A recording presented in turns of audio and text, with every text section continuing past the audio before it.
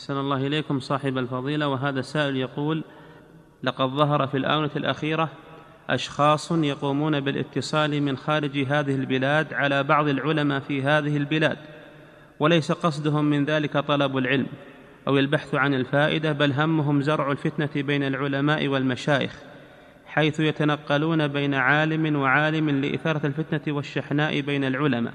السؤال ما الموقف أمام هؤلاء وما نصيحتكم لنا؟